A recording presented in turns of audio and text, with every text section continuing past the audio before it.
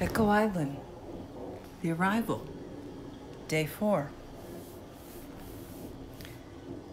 The rain had made the most delightful noise on the roof with the afternoon thunderstorm, and I fell asleep on the sofa beside the fire. Awake now, I had to tell you what I saw, witnessed, felt in a way, as if in a dream, another reality. I really don't know, but here goes. Oh no, it's a boy, she gasped with a little breath that she had left from birthing him. Then asked, The size of his head? I'm sorry, but it's a small head, and he has the face of a woman. It's always